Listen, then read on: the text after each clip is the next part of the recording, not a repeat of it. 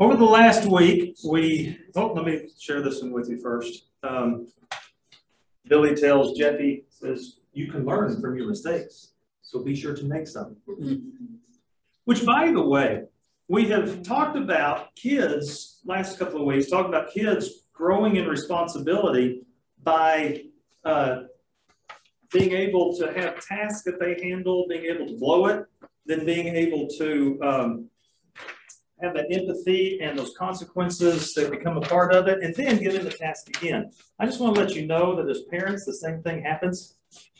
You know, it's okay to blow it and just jump in there and do the task again because God's a God of second chances. So just because you blow it doesn't mean that that you've had fatal mistakes. Remember, there are significant learning opportunities. In fact, I want to tell you about one of those. Um, I told you that love and logic is nothing new. It's been around forever. Uh, the stuff that we're talking about may have some different language attached to it, maybe some different terminologies at times, but the, the actual, the, the philosophy of parenting has always been there. In fact, it, this is probably in 15 years ago. I don't, do you remember C.C. Rendelman? You remember CC? CC, he about like 15 years ago went and sang for his funeral. Um, he was, I don't know, probably you know, 78, 80 years old whenever he died. And so the story I'm going to tell you is you take 15 years and you add another, you know, 60 or 70 years to that because whenever he was a little boy. And he grew up on a farm somewhere. This story was told at his funeral that he and a neighbor kid, and the neighbor kid, of course, lived, you know, probably a quarter mile down the road. Well, they always did stuff together, but this particular day they got into an argument. And the argument was this which is stronger, a cow, or a donkey? Does anybody know which one is stronger, a cow or a donkey? Yeah, we could take a class pool, you know, see. Stronger will. No, just strength, physical strength. Which one is, is stronger? Well, they couldn't come up with a, a decision either because Cece's dad raised cows and this neighbor's dad raised donkeys. And so they were each, you know, fighting for their own animal, and they decided they weren't going to get anywhere just talking about it. So they decided to try a little experiment. And so Cece went and got one of his dad's cows, and the neighbor kid went and got one of his dad's donkeys, and they brought it out to the pasture. And um, they decided they were going to settle once and for all which was stronger. Um, the way they decided to do it was to do some tug of war. But rather than put something around their neck or their you know muzzle or anything like that to pull, they decide to put the animals back in to back in and tie their tails together. And then each of them, on the count of three, would slap the rump of their respected animal and they would see which one was stronger. Now, do you want to guess which one was stronger? It was the donkey. And they knew that because as they were pulling, the cow's tail popped off. Oh my gosh. Well, as you can imagine, Cece's dad was none, none too pleased that he gets home and he looks out there and one of his cows is walking around without a tail. So the uh, I don't know about the empathy part. You know, we talked about making sure that you start with empathy. I don't know if Cece's dad started with any empathy or not, but he certainly had a um, creative consequence that went with this because for the next few days, Cece had to stand out there with that cow and had to swat the flies away from the cow because the cow didn't have a tail anymore to do it for himself, for herself. See, love and logic's been around forever. So, you know, you can learn from your mistakes, be sure and, and make some. So over the last uh, few weeks, couple of weeks, we've talked about these tools in our toolkit so far. We've talked about steps of responsibility, just mentioned a minute ago. We talked about SLOs, making those significant learning opportunities, allowing our kids to have those. And the more significant learning opportunities your kids have, the richer and uh, that they're going to be. So give them plenty of those as you possibly can. Talk about empathetic statements. Have you figured out your empathetic statement yet? Now I know you've got to come up with one. What's your empathetic statement? Nuts. He likes saying nuts. Nuts? Yeah. Hey, you know, remember mine is what? A bummer. Anybody else come up with your empathetic statement? For those of you that, that may not remember empathetic statements. Your empathetic statement is, is what you lead into. Whenever your child has an SLO, you may just, you know, in some instances, whenever they've really blown it, really blown it bad, and they should have known better, that anger and that irritation likes to well up. Well, this, the empathetic statement helps you keep that down. And, and so you have on the tip of your tongue one empathetic statement. How sad. What a bummer. Oh, man, nuts. Rats. You know, you come up with your own, and you got to be able to do it empathetically. Now, question for you what do you do if you're not feeling particularly empathetic? I had one parent, she was a mom, and she was just real honest. She says, I don't care. They messed up. I'm mad. I'm not feeling any empathy for them. So, what do you do if you're not feeling empathetic? First of all, that mom had some issues herself, but um, well, that's the case where you fake it till you make it. Um, and, and that's why you need to have one, because when something like that happens, you don't need to be fumbling around for the right empathetic statement. Got, what, am I, am I supposed to say? You have just one that you use. Oh man, what a bummer. How sad. What a problem for you. And, and if you need to, you put on little sticky notes and you put it on mirrors or on pictures somewhere where you got on the refrigerator so you can see them during the day. You know, you might have to write it on the palm of your hands and say, oh man, you, know, you just come up with something, some ways to be able to come up with it. Then you fake it till you make it.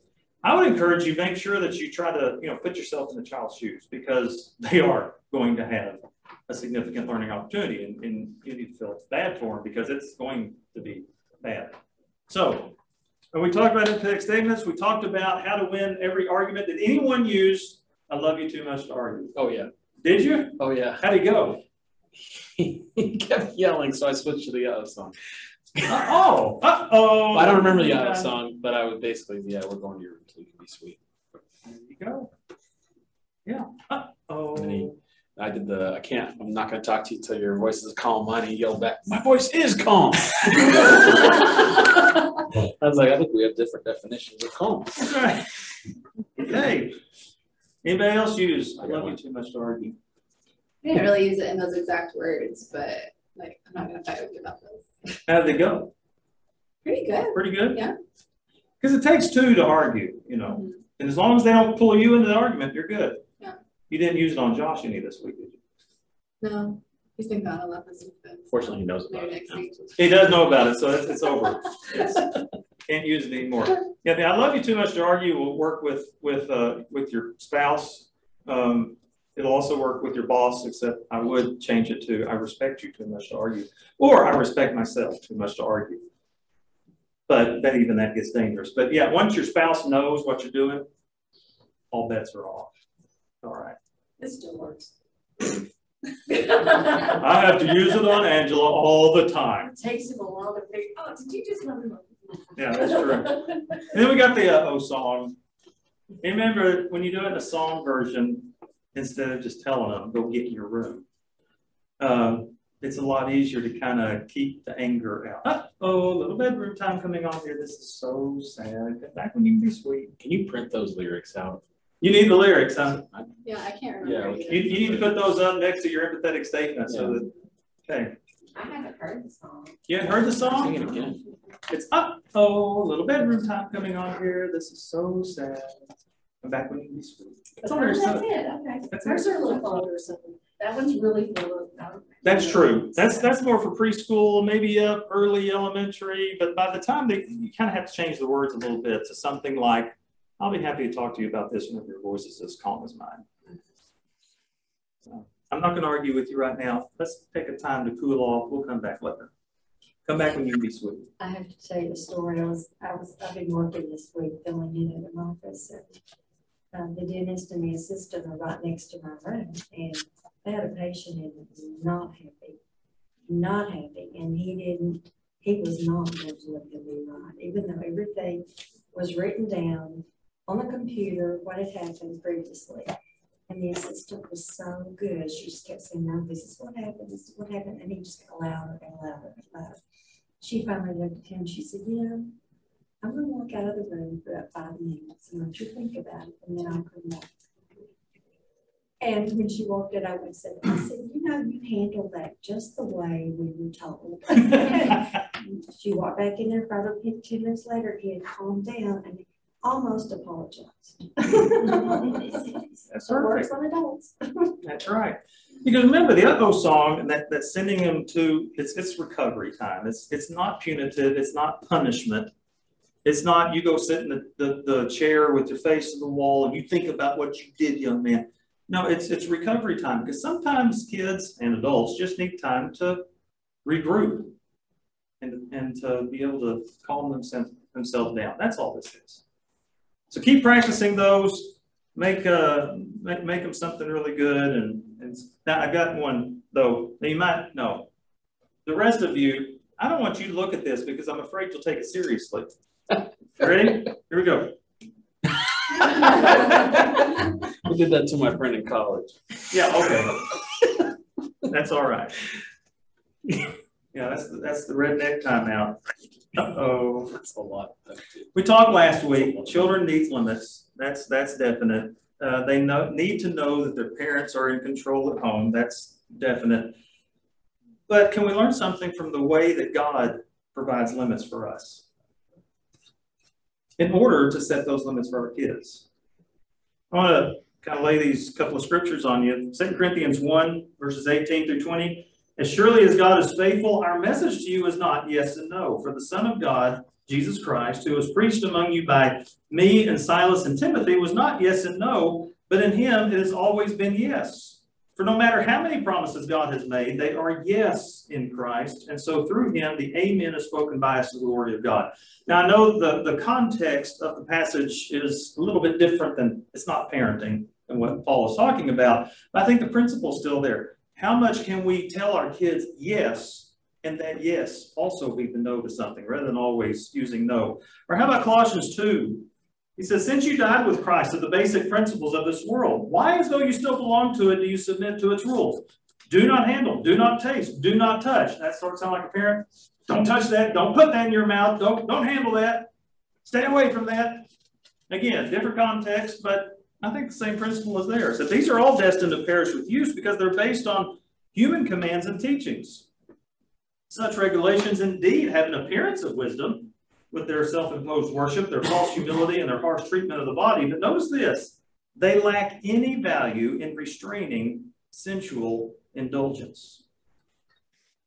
I think that can also be true of our kids, that just using the word no all the time does not get the job done as far as trying to teach them those limits. We've got to, to also give them the yes. We've got to tell them where the limits are and how to live within those limits. And so that's one of the things we're going to be talking about tonight as we ask this question, who is in control at home? Have you thought about who is that? Now, I'm not talking about between uh, the spouse. I'm, I'm not talking about that. I'm talking about between kids and parents. Who's in control at home? Kid. Kid? Just go and be honest with it. Yeah. Well, let me tell you a It goes couple back of, and forth. Hmm? It goes back and forth. does it? Yeah, they want to be in control. They do want to be in control. Just thinking of who sets the calendar, it's kind of the kid.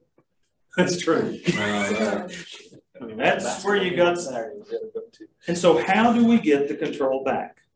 That's, that's the issue. Especially if the kid is in control. And in it, in, in our culture, in our society, it is easy for the kids to take control. In, in many ways, our society kind of promotes it. But the kids are pretty good at it too. Went to a, uh, went to a, uh, family gathering one time and I have to tell you about Dustin. I'm gonna change the name to protect the guilty. Um, Dustin was one of those kids that um, he was always bigger than his age, and he was loud, and he would oftentimes uh, bully to get his way, and he was just, you know, kind of obnoxious a lot. He's actually grown up to be a pretty good guy, but pretty obnoxious at the time. So he's about four years old. And uh, we're sitting there and, and I'm watching what's going on. And Dustin is over there and he wants a particular toy. He wants to play with it. But mom tells him, no, you cannot play with that. And so Dustin, as any kid worth their salt would do, what does he do? Flops down in the floor, starts kicking and screaming, I want the toy! I want! I want! I want it! Well, mom, she leaves the room.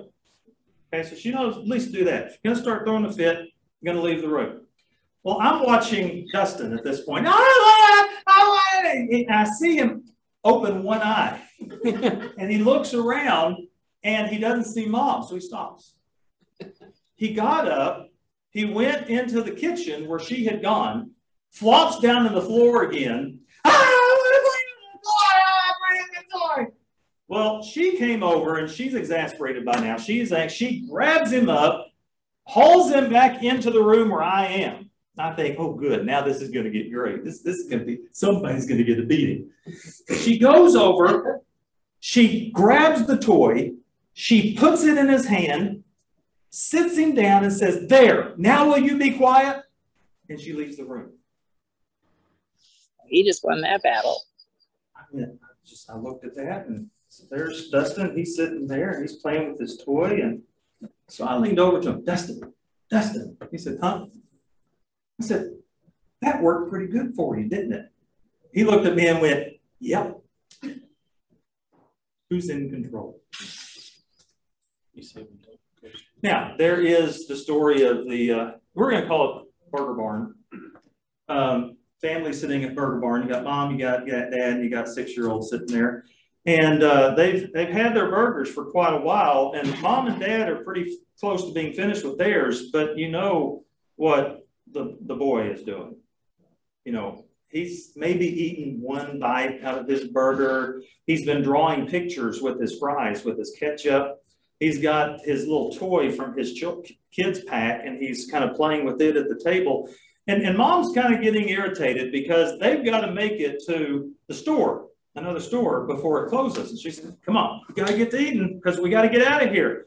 And, you know, that really motivates the kid to pick up his burger and start eating. And so she's just, she's starting to, to try to motivate the kid to start eating and he's not having any of it. He's starting to take his toy and maybe even do little circles in the ketchup with it.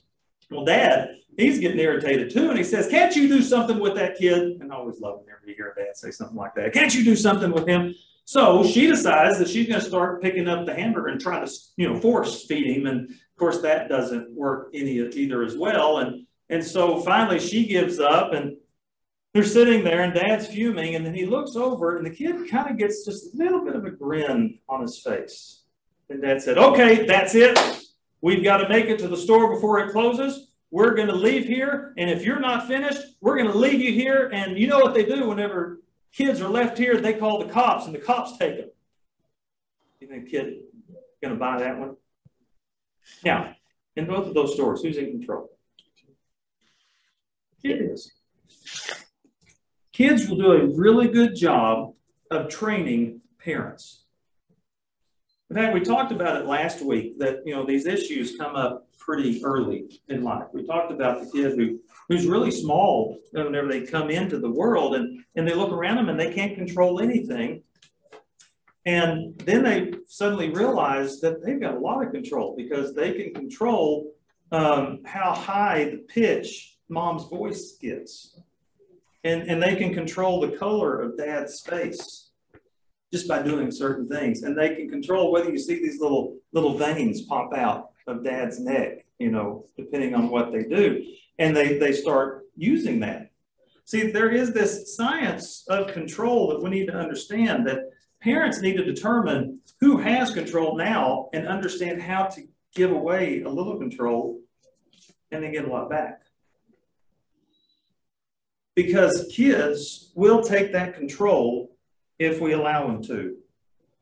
Now, we're going to be talking about sharing control for kids. Yes, it just kind of depends one way or the other. We're going to talk about how you share that control.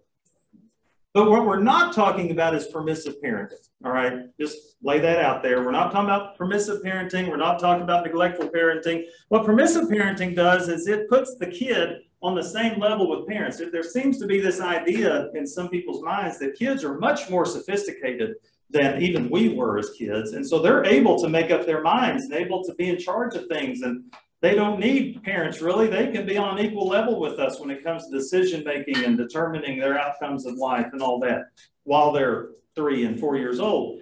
Not talking about that. I love that. This was in the, the Avalanche Journal several years ago. It said, uh, When Corporal Eldon Fuquay was called to a family disturbance involving, quote, an uncontrollable five-year-old, un- this- unquote, he was sure someone meant to put a one in front of the five. I couldn't imagine such a thing as an uncontrollable five-year-old, he said. A parent that can't discipline their five-year-old kid is not a parent. But when the child's mother answered the door, she told Fuquay she had called the police because her five-year-old son would not stop watching cartoons and refused to get dressed for school. I was taken aback, Fuquay said.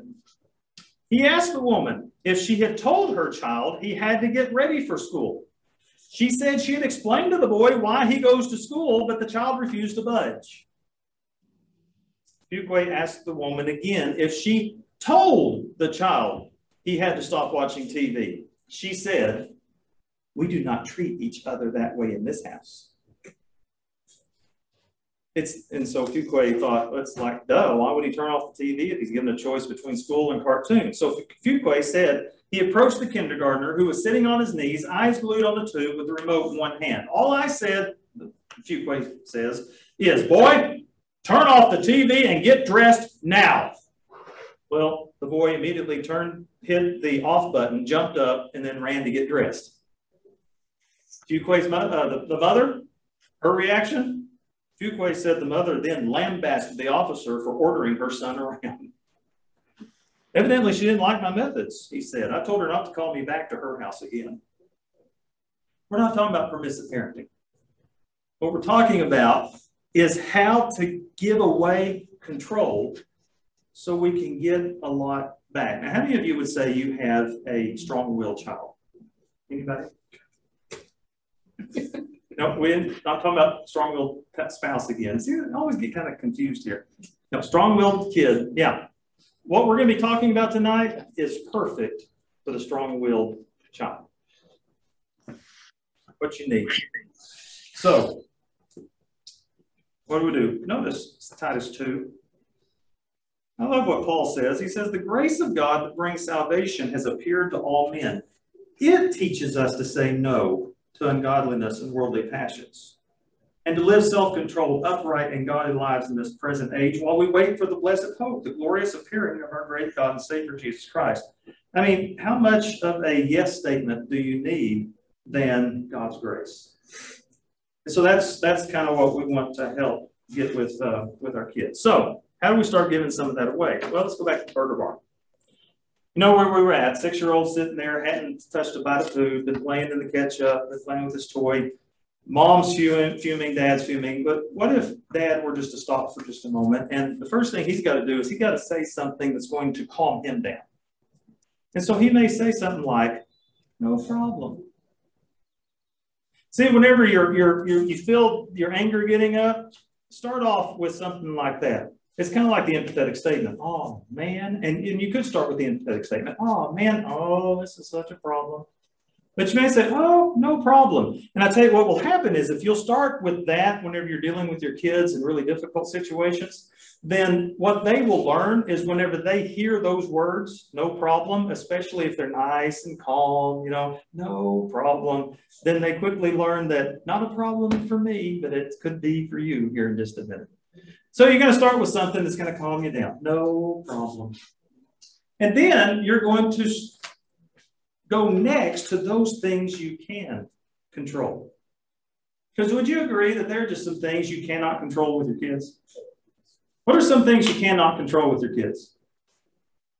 When they go to the bathroom. Whether they eat.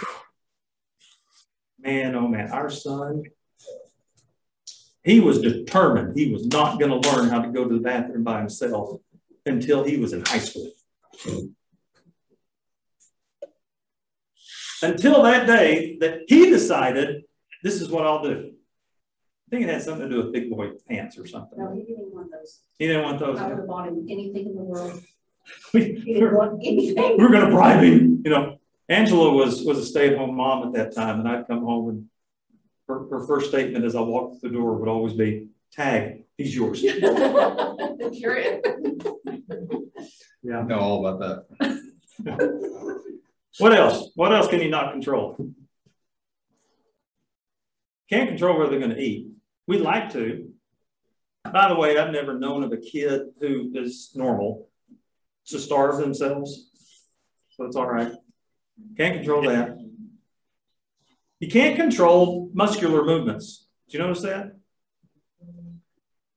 In fact, if you want to see if you can control your kid, use one of these statements. Hurry up. What happens when you tell a child to hurry up? Slow down. I'm coming. Really slow it down. You can't control what they're going to think. You can't control, you know, oftentimes what they're going to say. So there's so much you can't control. And so here, the six-year-old sitting at the table, dad says, no problem. And so what the dad's got to do is he's got to start with something he can control. You know what? We got to get to the store, so we're going to leave. The car's going to leave in five minutes. Just thought I'd let you know. And just leave it there. Now, what did the dad just do for the kid? Gave him a warning. Gave him a time limit. Put the ball in his court. He did. He put control in the child's place. Now, what does the child have to decide? Are you going to eat or are you not going to eat? Are you going to leave here full or are you going to leave here hungry? In fact, if you do it right, the kid's mind will be swimming with so many choices that they've got to pick through. In fact, that's pretty good for the kid because now you said five minutes, then the parents don't have to remember what we said earlier. You give a child a task that they can handle. We're going to leave in five minutes. Then you hope they blow it. See, the dad at this point ought to be hoping that the kid doesn't eat anything. And you, you know why you do that? Remember what we said about that? Because that way it saves us from the reminder trap. We're in that for the next five minutes, every 30 seconds, hey, uh, it's four and a half minutes now. No, I told you it's two two minutes away. Now see, we already told him five minutes. It's all in his court now. But that's the hard part. A lot of people get in that reminder trap. It is, yeah. Because they're worried, because the kid's not eating and then get worried. Okay, three minutes, three, and then they start, then it ruins everything. And we don't want our kid to suffer. We don't want our kid to hurt. And that's all right. There's a lot of loving parents out there that they don't want their kids to hurt. And I understand that. But they're also robbing their kids of all sorts of valuable lessons they could be learning. We're going to give as much of that control away as we can. And so when parents understand this, they can start offering choices. And what they wind up doing is they wind up having control on their terms. You're going to share as much control as you can so that you have control, but it's on your terms. See, here, here's the, the, the fact of the matter. Um, there are these control battles that we like to get into. You're going to talk this way. You're going to think this way. In fact, if, if you don't know this yet, and those of you with kids that have reached like early preteen and older, they get to this new way of thinking where they can think about thinking and what they're thinking. And they will say things that they don't really agree with, but they know it'll make mom and dad crumble. Do you ever do that to your parents? Oh, yeah, it was fun. You know, you just argue because it's fun, you know. Well, you can't control what they think, and, and they know that. And so, what happens with this is when we share control, we get our share back. But if we try to hoard all the control, then we soon lose it all. In fact, what our kids will do is they will we either give up that control or kids will take it away from us. It's kind of like if they were leading us around on a leash. And if they think that they're losing control, they start pulling on that leash. Let me tell you about a little girl that Angela had in her kindergarten class one year. But the parents came in at the beginning of the year and said, We need your help. Oh, we need your help. Anytime a kindergarten parent comes in and tells a kindergarten teacher, We need your help this year, that, that is enough to cause a kindergarten teacher's spine to turn to liquid and just, oh no, here we go. They said, Yeah, we can't get her to do anything. She, she, she just does whatever she wants to do. We can't get her to do anything. So Angela started asking questions about you know, what they had tried, and they said, we tried everything, we tried taking things away from her. And so we started taking things out of her room, and she, they said, we are all the way down to, uh, she only has a mattress in her room. That's it, no bed, she just got a mattress sitting in her floor, and she still doesn't do anything. So Angela decided she talked to them about how to share control. And so let's go back to the barn and, and see what this looks like. How do you gain the control?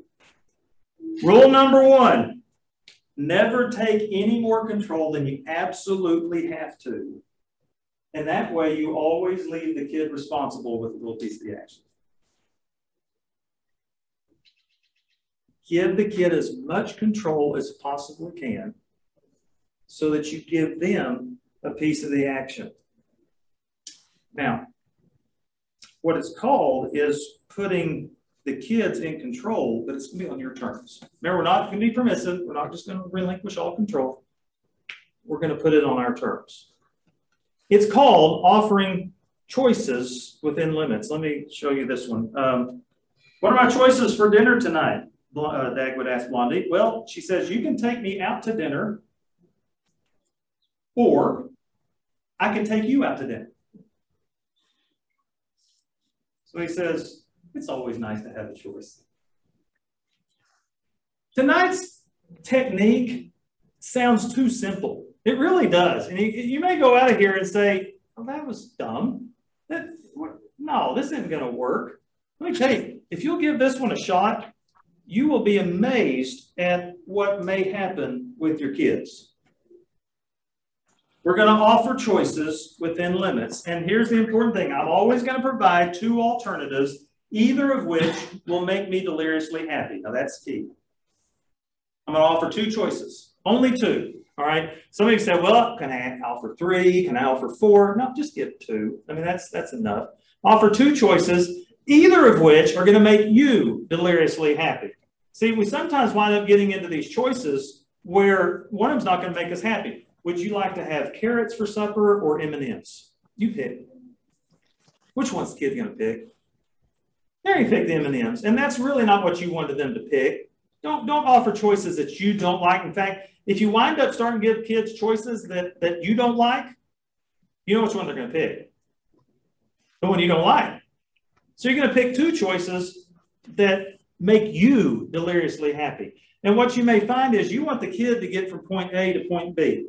But there's going to be several different ways that they can get from point A to point B. It doesn't have to just be one.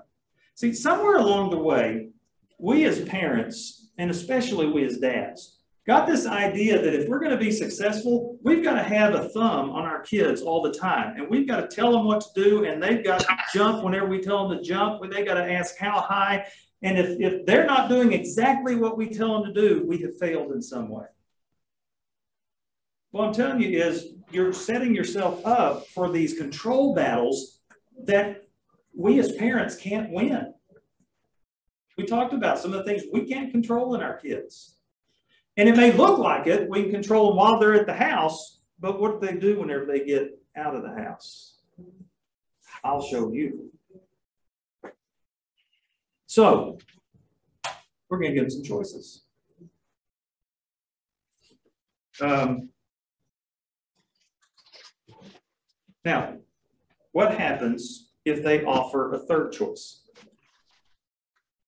You can have peas or carrots. Oh, I, I wanted, I wanted, uh, I, I, I, I wanted potatoes. Now what do you do? Peas or Carrots. Yeah, and, and you, just one line, remember, I love you too much to argue. We're not gonna argue about peas, carrots, or potatoes. I gave you two choices, and so it's just gonna look like this. Um, would you like peas or carrots tonight? I want potatoes. What were the choices? But I really like potatoes. Well, what were the choices? But but we had carrots the other night. What were the choices? And all you do is just go into the what were the choices? What were the choices? What were the choices? Now, some kids will learn pretty quickly that whenever you give two choices, those are your two choices, and then they'll go ahead and make one of the choices. But what if they refuse to choose? Exactly. See, there's an implied third choice. The implied third choice, and you don't have to say it, but the implied third choice is if you don't decide within a certain amount of time, and that's not gonna be a long time, it, it could be five or ten seconds. If you don't decide within a certain amount of time, I get to choose. And so it sounds something like, what were the choices? Well, I don't like either one of those. Okay, I guess we'll have carrots tonight. I'll tell you what, I'll give you another chance to choose later on. You're gonna keep the smile on your face, gonna keep calm, your, your voice calm.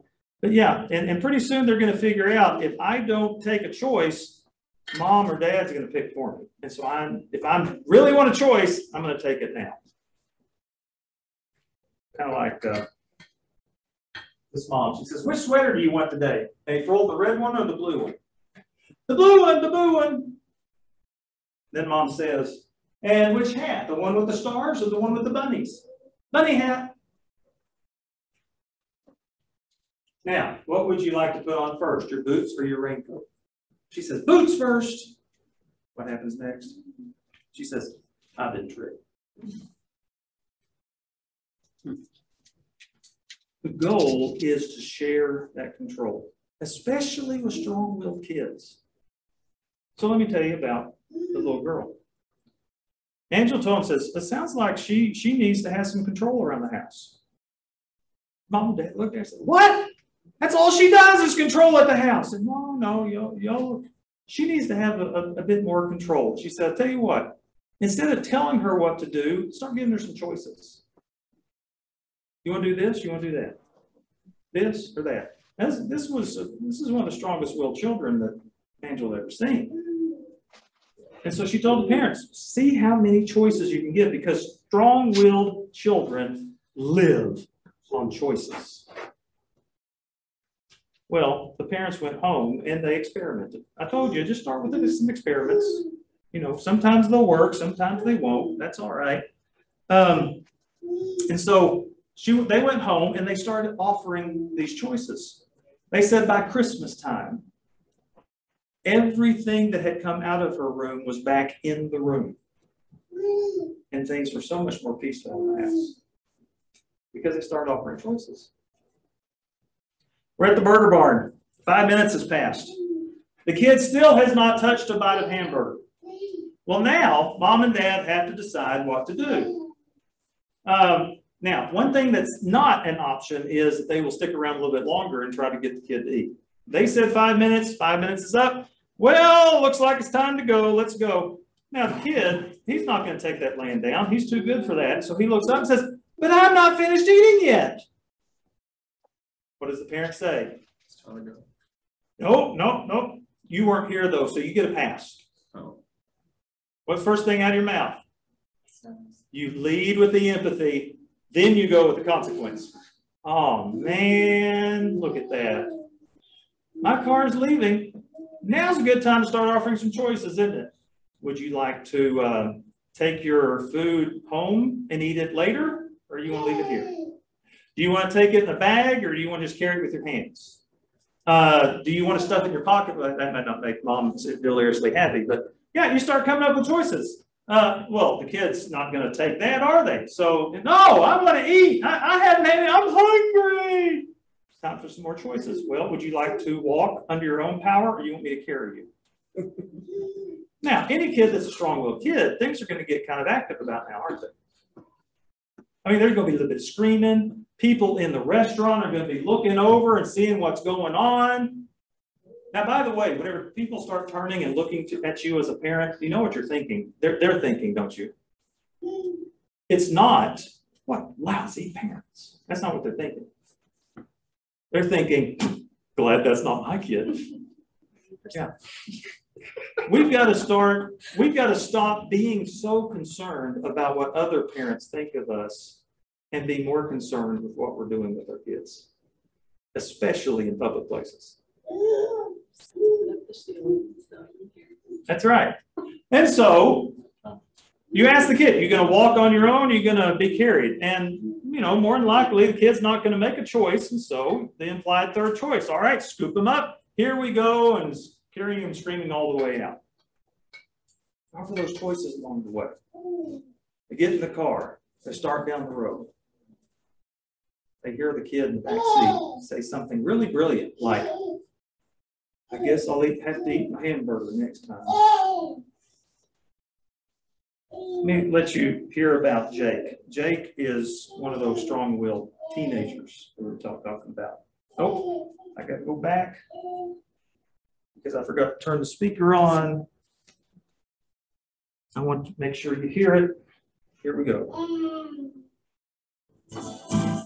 I was a big, strong-willed kid. I was a big teenager. It won't even get up. Oh man, Jake was such a kid. Jake was a classic strong-willed child. If you said yes, he'd say no. Tried to figure out what other people wanted so he could do exactly the. Now, does do these ideas work with strong-willed teenagers? Oh, perfect fit. Do strong-willed people love control? Oh, that's the diet of choice, right? Give me some more of that good stuff. What happens when you tell a strong-willed kid what to do? Little buzzer goes off. Beep, beep, beep, beep. Control lost, warning. Then a little menu pops up. Options for regaining control. Option A, hearing loss. Option B, muscular paralysis. Option C, do exactly the opposite of what they want. Well, Jake, he liked school, but he was completely dependent on his parents to nag him out of bed, nag him to eat, nag him to do everything. Well, his parents sat him down one night, started giving choices. Gotta apologize to you, Jake. Nagging you too much. You want us to nag you or not nag you? I'm tired of that nagging. You want us to treat you like an adult or like a little kid? Adult, man, I'm 14 now. Okay. Um, well, then you gotta make a lot of choices. Are you going to be setting your alarm clock for six thirty or six forty-five? What would be best for you? Ooh, oh, okay, you can decide about that. And are you gonna be setting your alarm clock right next to your bed, or do you think it'd be smarter to have it over there across the room so it wakes you up? You have to get up and walk a little bit, get you woke up. Ooh, what happens to the kid that says, I don't know? Is it still working? Yes. Well, hey, you gotta make some other choices. Are you gonna eat breakfast at home or are you just gonna wait for lunch or get something from one of your friends or whatever? You know, you just decide about that. And hey, you gonna remember your homework or are you gonna just explain to your teacher why you don't have it? All right? Because we're gonna love you regardless of the number of years it takes you to get through middle school. And uh, Jake, uh, hold on a second. I think there's probably some other. Hey, are you going to get up on time and catch the bus, or are you going to be paying somebody to take you? Uh, you have to decide about. Oh, oh God, enough with this stuff. Quit. You're nagging now. We're nagging with the choices. Yeah, that's nagging. Well, do you want us to stop or continue? That night they went to bed. Now, here's a quiz for you. What are they hoping for? Oh, hoping and praying he's going to sleep through that alarm. Are they disappointed? No, he walks out the next morning. Only problem is it's about 10 o'clock. Who's sitting at the table? Mabel. That she gets around, doesn't she? Yeah, Mabel is anybody you can get your hands on. Sometimes it's best if they're not Love and Logic, too. You kind of want somebody that looks at the kid and says, I have to be here. How are you going to pay me? Well, I'm staying around. You can't make me stay here. No problem. See, I'm here to supervise the house since you're staying home. And, you know, if you help me supervise, it's going to only charge you five bucks an hour. But if I have to do it on my own, then it'll be 10. So you decide. Was that night pretty interesting? How could you do that? What did they come up with? A little variant on that one one liner.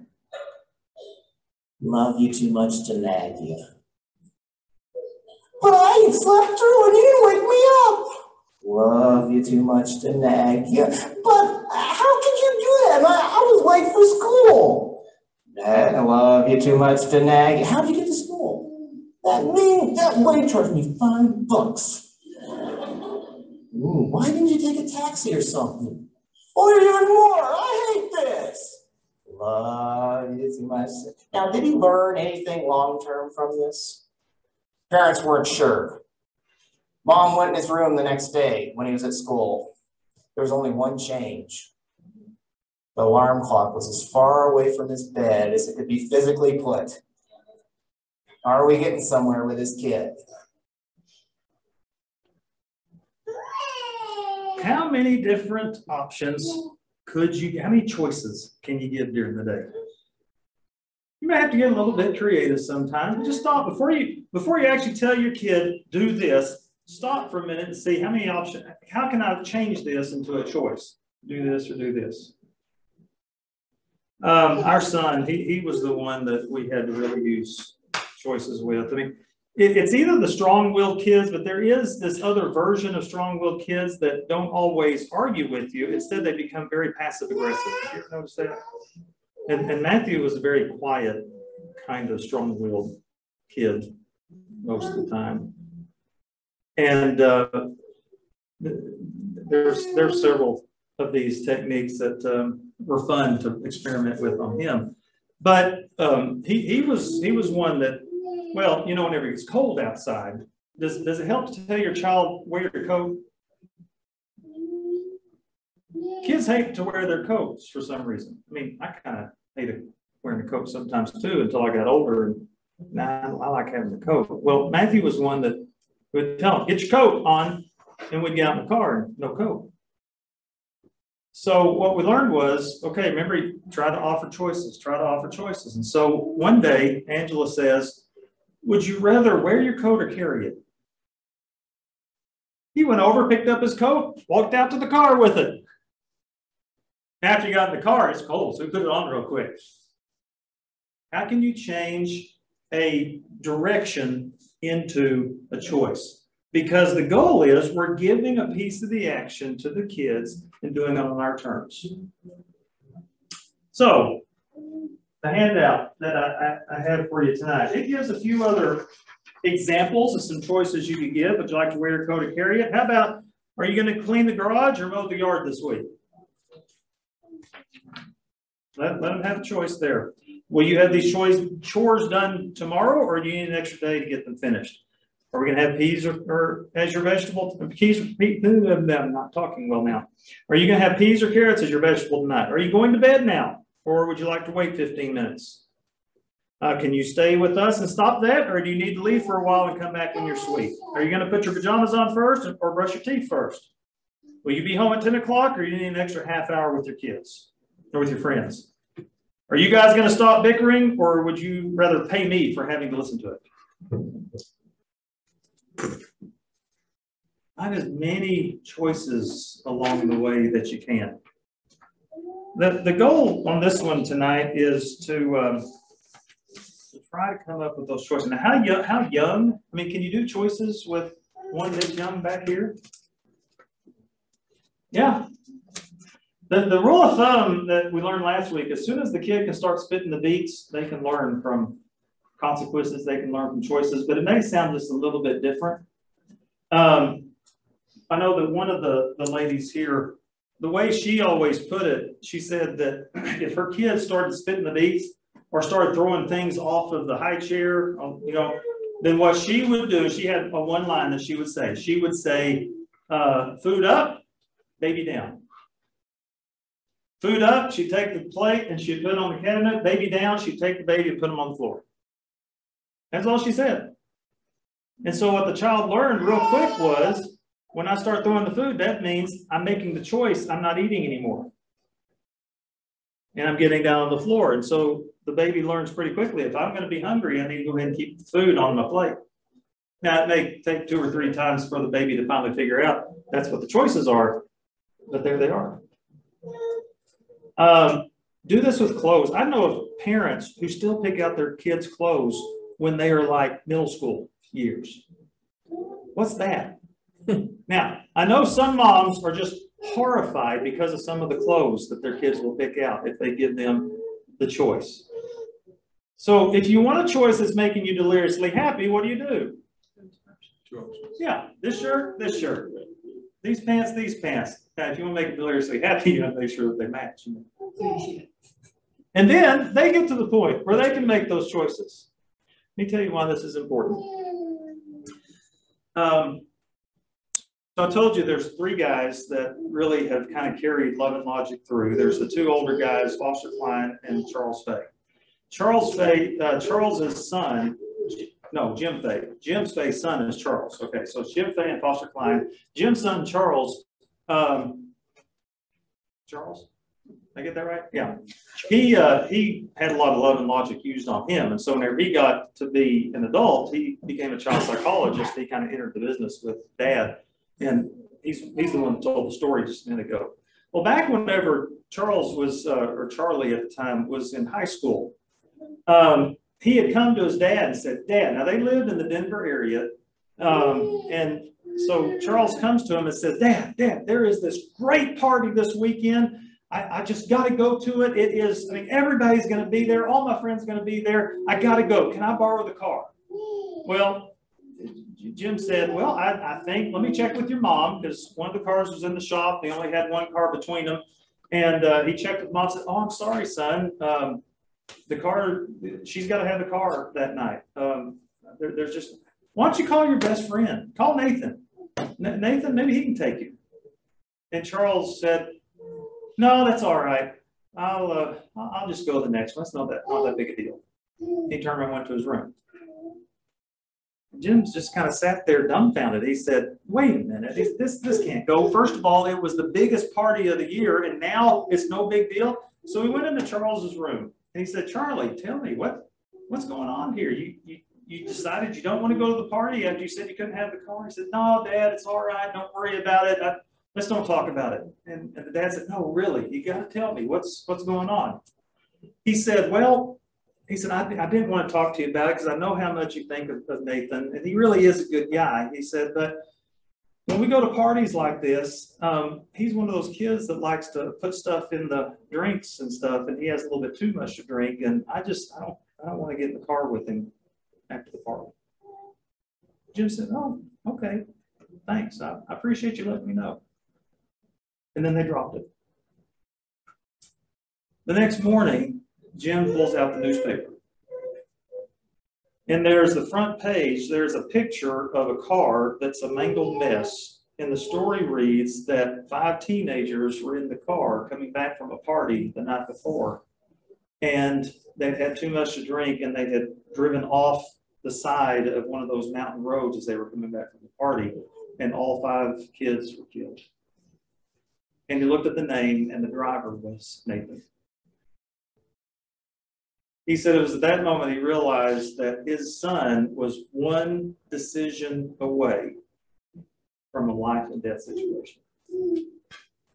See, what we want to do is we want to give our kids as many opportunities to experience the real world while they're at home and the price is cheap, so that when they get older and they're making bigger decisions, they know how to do it. I know way too many kids who are now adults you know, you know those adults that they're paralyzed to make a decision? They just can't make decisions in life. And some of that may have been because they weren't given the opportunity to try out making decisions all along the way. So do your kids a favor, start offering just little choices. Don't have to be big things, just little things, as many of them as you can during the day.